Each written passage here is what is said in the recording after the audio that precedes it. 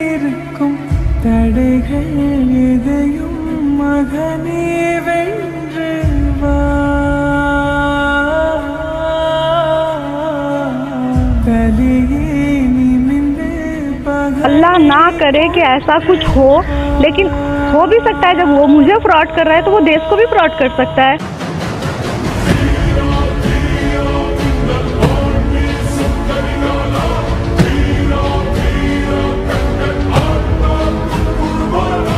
हूँ। अगर आज